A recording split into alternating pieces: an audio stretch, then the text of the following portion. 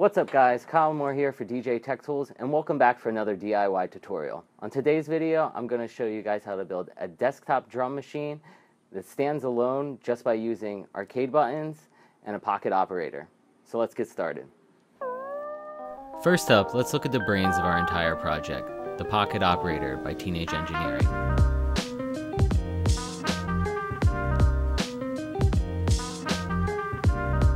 Next, let's look at our parts and supplies. 24 and 30 millimeter arcade buttons from FocusAttack.com, mini arcade buttons, 10K potentiometers, 3.5 millimeter and quarter inch audio jacks, standard 3.5 millimeter audio cables, a micro LiPo charger, diode, on-off switch, and lithium ion battery. 30 gauge silicone wire, light tubes for our LEDs, chroma caps from DJ Tech Tools, 3D printing filament from Hatchbox 3D, wood stain and rubber feet. Next, let's look at all the tools we're going to need. First up is Sugru moldable glue, a PanaVise Junior and helping hand tool, some hobby files and a mini hacksaw, a power drill, various bits, and a few screwdriver sizes. Lastly, we'll need soldering iron, exhaust fan, solder, flux, tweezers, and pliers. Now, first thing we need to do is lay out your design.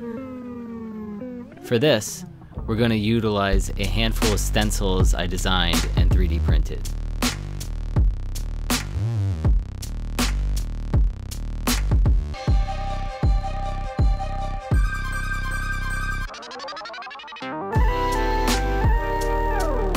You want to make sure that all of your designs on the inside are mirrored and opposite of what they actually will be on the other side.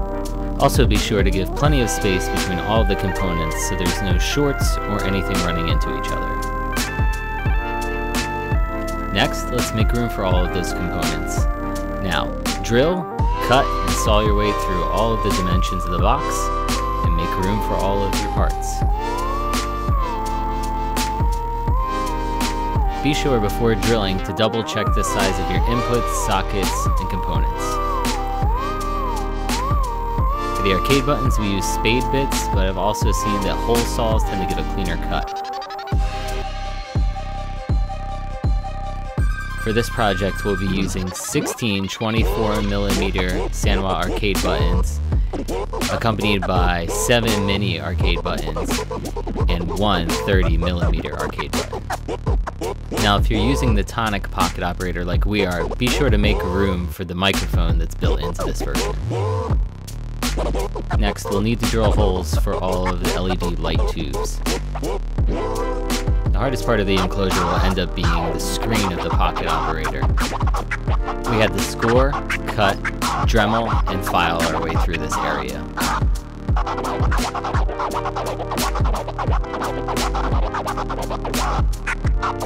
Now that our enclosure is complete, let's add some stain.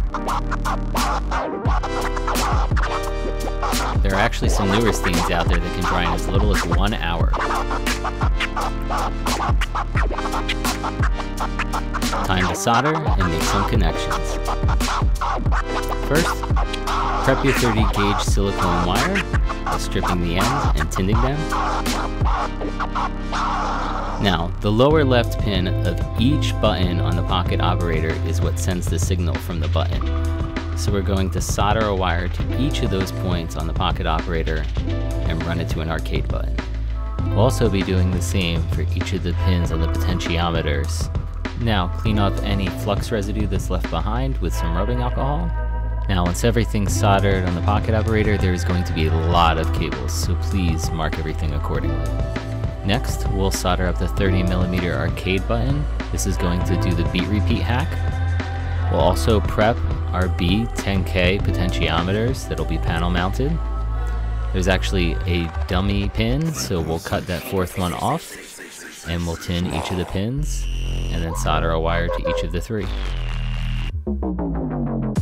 Next, we'll prep the audio in and out functionality by cutting an audio cable in half, stripping it, and pulling apart each of the wires inside. There should be three, a left, a right, and a ground channel. Sometimes the ground isn't a covered wire.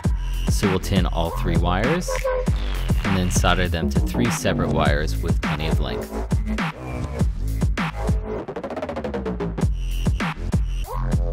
Now it's time to put together our rechargeable battery setup. Thanks to our friends over at Adafruit, we were able to come up with the following schematic for the battery. This consists of a 3.7 volt, 500 milliamp lithium ion battery, attached to a micro LiPo charger board, then a diode to cut the voltage between the board and the pocket operator.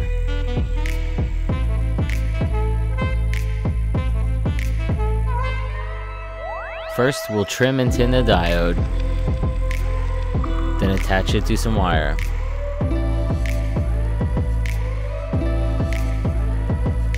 Then, we'll solder to the micro LiPo board on the positive side.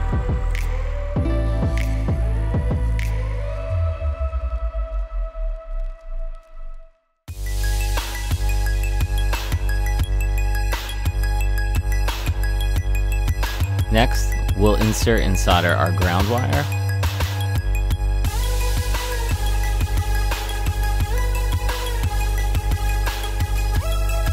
Next, we'll connect our switch between our battery and the board.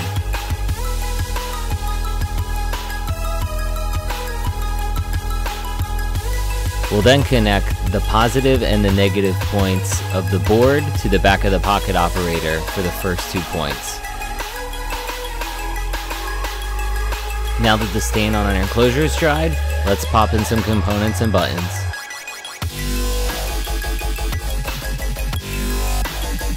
First, we'll start with the 24mm Sanwa arcade buttons.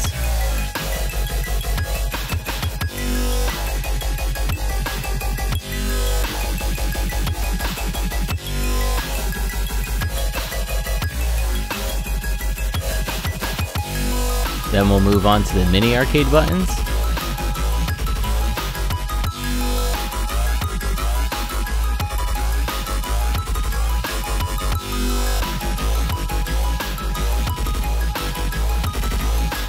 Next, we'll mount all of the potentiometers.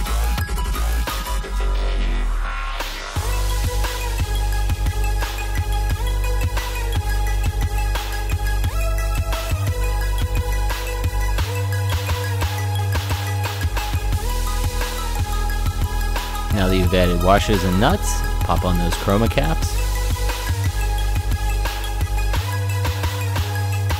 Insert your 30mm Sanwa arcade button for your beat repeat function.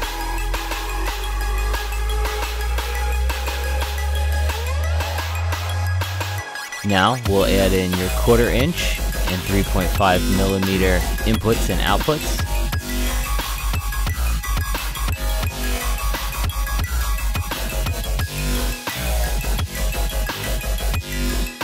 Then we'll add our panel mounted micro USB input, which will attach to the battery setup, and also the switch.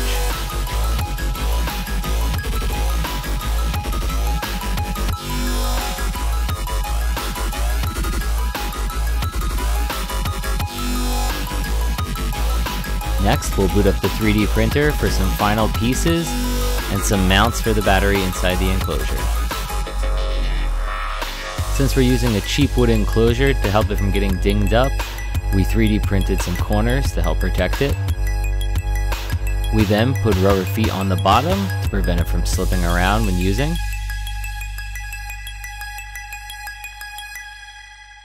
For some of the components such as the switch and the input jacks and even the battery, we don't have definite mounting materials, so we're going to be hot gluing and Sugruing a lot of these things to make sure nothing moves around once it's closed up.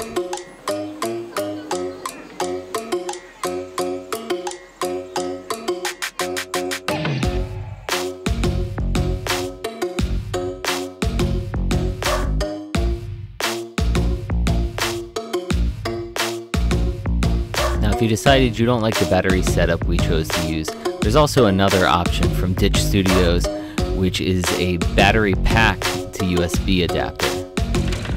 Next, we'll want to cover all of our connections which are really close with either Sugru or hot glue to make sure none of the leads touch. In addition, we used a plethora of Sugru to cover screws, hold buttons in place, mount cables,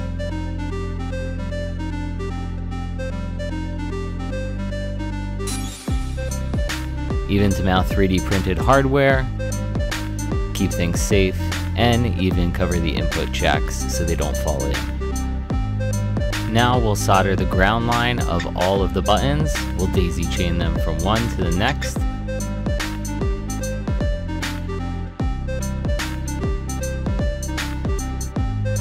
Then we'll connect that ground line to the beat repeat 30 millimeter arcade button and run that line which is also attached to the ground of the pocket operator. Next, we'll take the signal button from each pocket operator button and solder it to a corresponding arcade button. For the beat repeat function, one wire of the 30mm arcade button will go to the ground while the other will go to the negative of the speaker output pin on the back of the pocket operator. After we've connected all of the pocket operator buttons to the arcade buttons, it's time to add in your light tubes so that the LEDs from the pocket operator can shine through the casing. Now the light tubes should fit pretty snugly and not go anywhere, but if you find that they're falling out, you can easily put some transparent glue on the back to hold them in. Just make sure not to cover the ends that will go over top of the LED.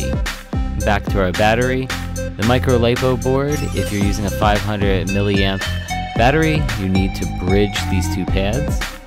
Next, we'll tin all of the pins on each of the input jacks and then connect the following wires accordingly. The three connections in the audio consist of your sync, your audio line, and your ground. Sync is yellow, audio is red, and ground is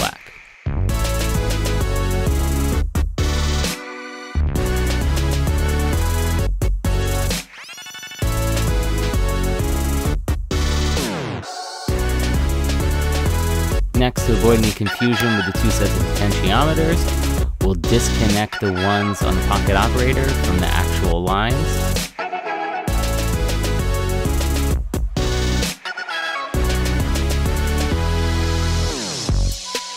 Now, lastly, we will mount the pocket operator inside the enclosure.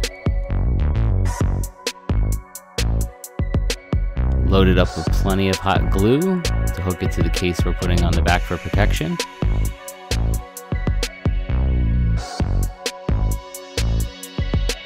Also make sure to either use plenty of wire ties or Sugru to hold your wires together and prevent them from moving around.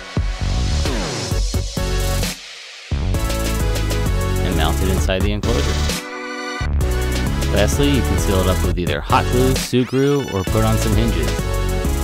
Now, if you like this concept but want to keep the pocket operator portable, Ditch Studios has a really awesome case with some larger buttons that we really enjoy. Now, let's boot it up and try it out.